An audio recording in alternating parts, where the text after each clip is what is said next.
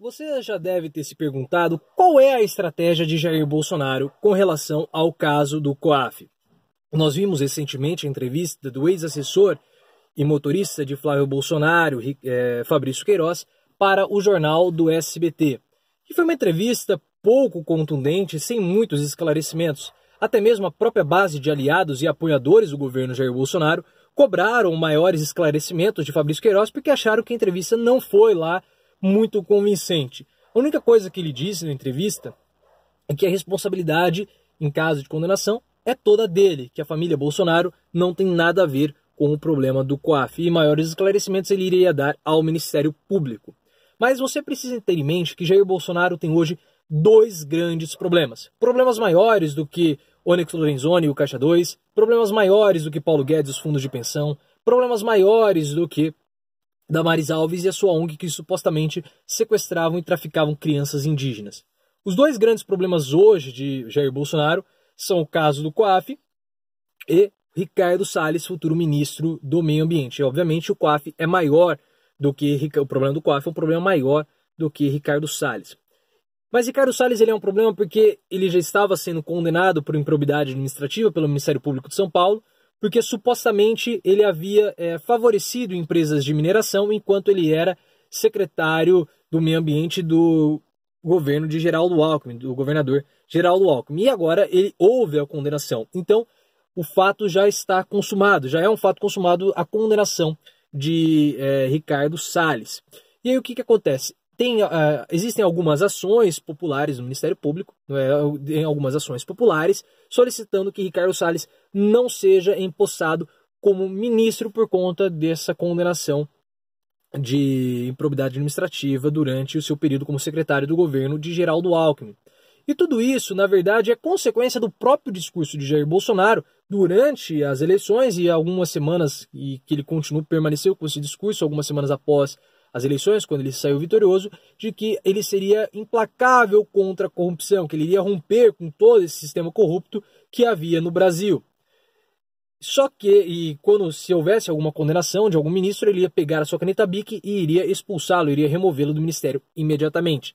Só que após o caso de Ricardo Salles, nós vemos que Jair Bolsonaro vai dar algumas concessões para condenados. Ele vai fazer algum tipo, vai ter algum afrouxamento. A caneta BIC não vai ser mais tão pesada como nós vimos agora com relação a Ricardo Salles. E Ricardo Salles se manterá no governo porque na visão de Jair Bolsonaro a condenação foi uma condenação política e não por corrupção, como você pode ver aqui na descrição do vídeo. Só que isso, é, existem pessoas que vão defender a vertente de que, ele, é, de que houve uma condenação política e vão ter pessoas que vão defender a vertente que não houve, que a condenação não foi política. O que nós temos que tentar interpretar tentar entender é como a população vai encarar essa condenação, essa fala de que Ricardo Salles ele é um condenado político, porque é uma fala que se assemelha bastante com a fala levantada pelos petistas com relação ao ex-presidente Lula ao dizer que Lula é um preso político. E aí você vê os petistas falando que Lula é um preso político e o governo falando que Ricardo Salles é um condenado político. Você vê que as duas coisas são muito parecidas nós temos que tentar entender como que vai ser é, digerido, como que isso vai ser interpretado pela população. Pode ser que a população interprete assim de forma, olha, pau que bate em Chico não está batendo em Francisco, porque preso político, condenado político pode ser a mesma coisa, o que acaba podendo enfraquecer Jair Bolsonaro. Tanto que é, existe ele, uma base de aliados de Jair Bolsonaro que fala que ele precisaria retirar Ricardo Salles do governo, porque ele enfraquece esse discurso anticorrupção e também enfraquece a imagem de, do futuro ministro Sérgio Moro, como nós já havíamos falado aqui com relação a Onyx Lorenzoni. Esse caso, obviamente, desgasta o governo Jair Bolsonaro e a oposição, solicitando, com as ações populares, solicitando que Ricardo Salles não assuma o seu cargo como ministro, desgastam ainda mais. Mas a oposição está fazendo o papel dela. E é engraçado que o Partido Novo, que é o partido de Ricardo Salles, que falou que iria romper com, também com tudo que está aí, que ele seria o partido da nova política, não se pronunciou ainda, está em silêncio com relação ao caso, a condenação de Ricardo Salles. Então, mostrando que o Partido Novo não é lá tão novo assim. Só que esse caso do Ricardo Salles ele foi eclipsado pelo problema do COAF, mas Ricardo Salles também vai se beneficiar da estratégia adotada para o caso do COAF.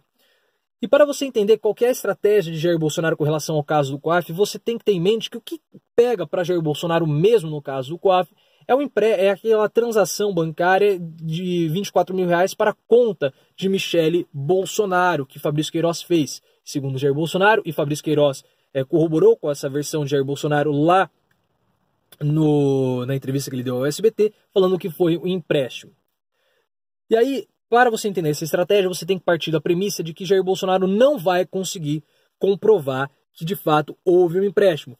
E ele não vai conseguir comprovar por dois, dois pontos. O primeiro é porque de fato pode ter ocorrido um problema de corrupção, ou seja, esse dinheiro é proveniente de corrupção, mas também porque esse, esse empréstimo pode ter ocorrido por dinheiro, por dinheiro espécie. Não teve, não foi feito um contrato e não tem como comprovar é, transferências bancárias de Bolsonaro para Fabrício Queiroz ou saques no valor de 40 mil reais. Então, se não tem como comprovar, não tem como apresentar esses comprovantes, então Bolsonaro não vai ter como provar que de fato ocorreu um empréstimo.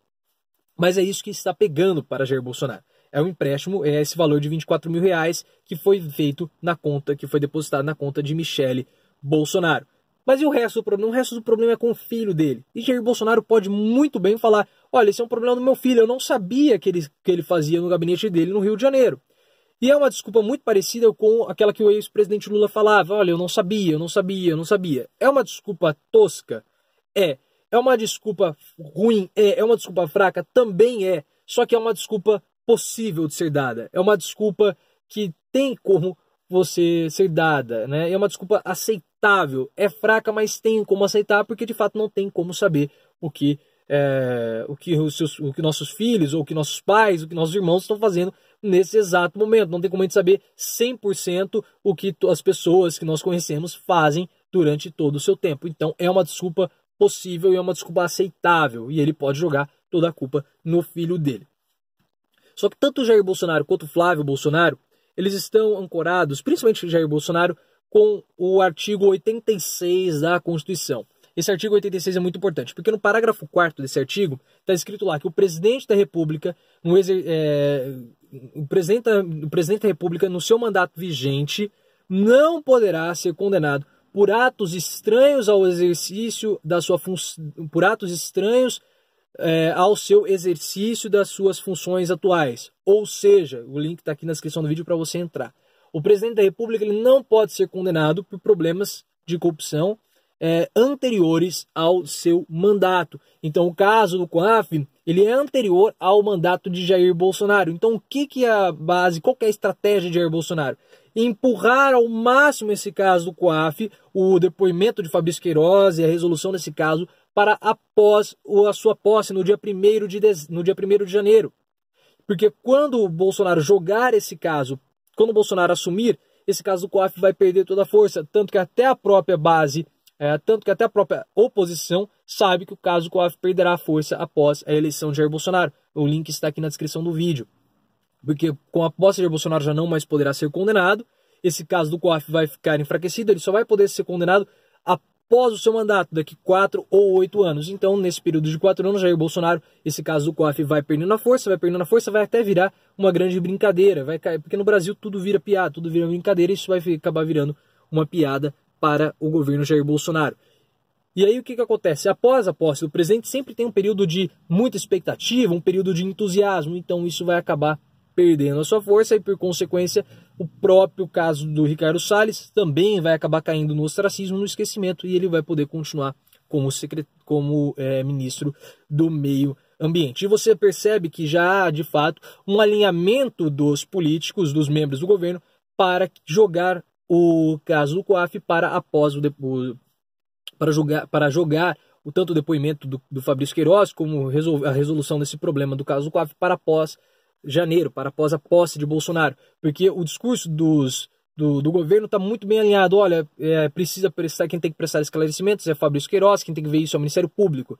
Tanto o Onyx Lorenzoni já falou isso, o Sérgio Moro também já falou, bem diferente do bate-cabeça que estava ocorrendo lá no começo de dezembro, quando esse caso do COAF estourou. O Onyx Lorenzoni deu declarações desastrosas, Sérgio Moro virou de costas e foi embora, General Heleno também falou que era uma questão de valores, era uma questão de um valor muito pequeno, enfim houve um bate-cabeças grande, mas agora o discurso está alinhado. E por que está alinhado? Para poder empurrar esse caso, esse problema do COAF, para após o, a posse de Jair Bolsonaro quando ele vai estar respaldado pelo é, artigo 86 da Constituição. E é por isso que é, essa é a estratégia Jair Bolsonaro: jogar com o tempo para fazer com que esse caso do COAF perca o seu, o seu impacto, perca a força e depois acabe caindo, virando até mesmo uma brincadeira, uma lenda aí no, do governo. E assim ele não vai ser condenado. Se você chegou até aqui, considere se inscrever no canal, deixa aqui nos seus nos comentários as suas impressões, qual é a estratégia que você acha que Jair Bolsonaro está adotando para resolver esse caso do COAF. Tem todo, tudo que eu falei, todas as reportagens estão aqui na descrição do vídeo. É, tem, tem também o link para o meu Facebook para você entrar lá e bater um papo comigo de uma forma mais fácil. Lembre-se, pessoal, vamos sempre sair do raso e aprofundar o nosso discurso.